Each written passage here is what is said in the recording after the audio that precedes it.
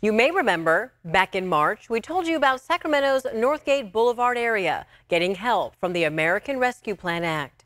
Today, small businesses got that money. 20 places are getting some much needed cash. ABC 10 caught up with them to talk about how it's helping neighbors not feel forgotten. Algo bueno.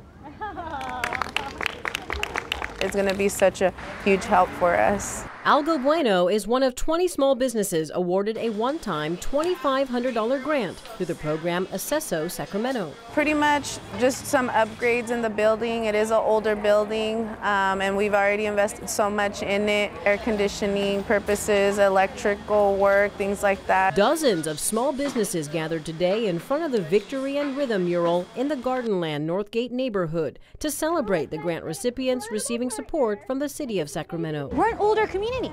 We've been in Sacramento for a long time. And many times our community feels like, hey, they forget about us, right?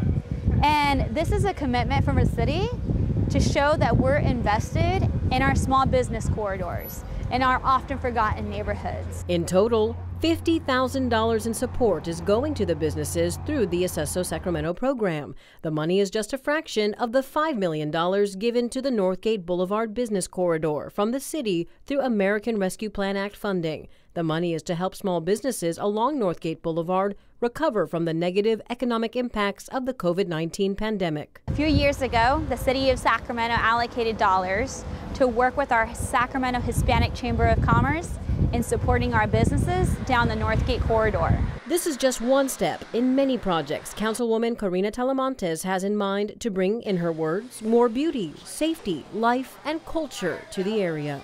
Today, we're celebrating the ones that are receiving the, the grants, and we're here to celebrate them and their investment in our community. And it just gave me so much happiness and a push that people are really looking at what Northgate has to offer for small businesses and just keep going. We have additional information on the Acceso program and the businesses involved on our website, abc10.com.